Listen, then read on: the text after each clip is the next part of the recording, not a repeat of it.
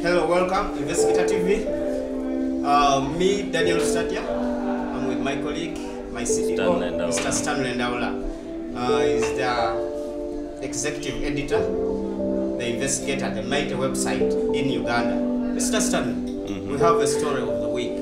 Actually, this story even made some of, of the journalists lose their jobs.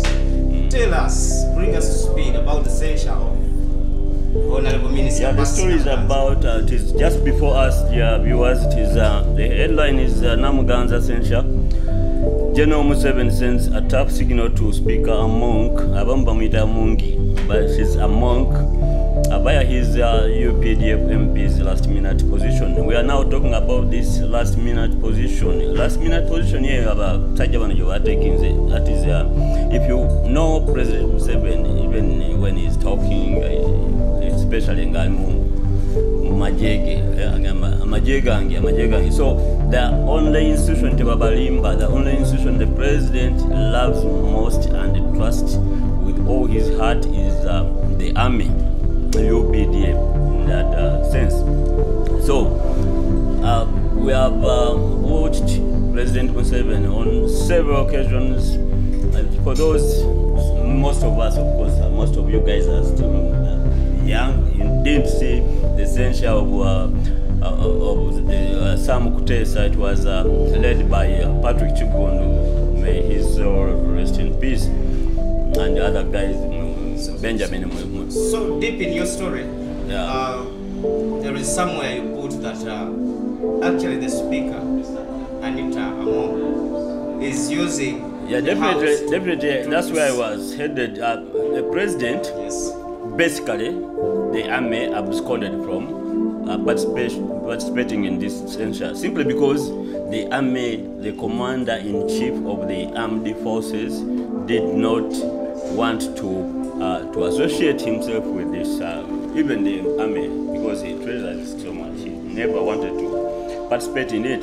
So that's why we talk of uh, sending a signal. This is a very tough signal to Speaker Amongi because, uh, like, we have another story again on the investigator which uh, talks of uh, uh, having this uh, uh, parliament as the only this it is this only parliament that has pursued more personal battles than battles of public interest.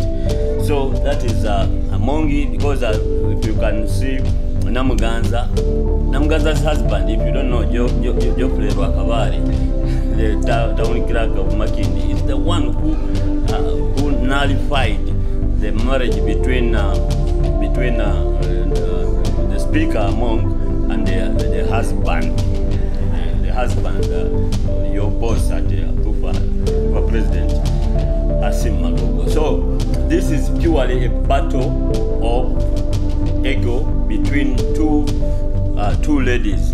But uh, what again? Uh, among must know is that uh, Namuganza has not met the president now. He was even on their party uh, when she was still a student. Uh, we have a photo of that in that, that particular in this particular story. So, and um, as Among was busy in FDC punching at Museveni, Namuganza was in the field soliciting votes and uh, support for the NRM and Museveni. So uh, that's why we came up with this story. The details are so you, you can you, you find them there. It is now Among has all the reasons to be worried about the master, the CEO of Uganda, General Yoweri Kaguta Museveni. So thank you, um, our viewers. These uh, details about this story and more, please just tap onto the investigator, the link below. Thank you.